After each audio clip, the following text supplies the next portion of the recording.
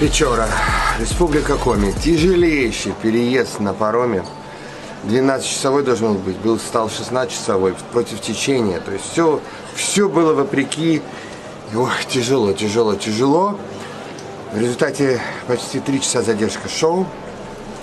Я благодарен всем зрителям, которые, ну, не наша вина, конечно, природа и все остальное, непроходимый край тяжелый, но мы хотели сюда приехать, и мы приехали, и сегодня я компенсирую это все три часа ожидания невероятным шоу, которое Печора еще не видела, да и вряд ли кто видел.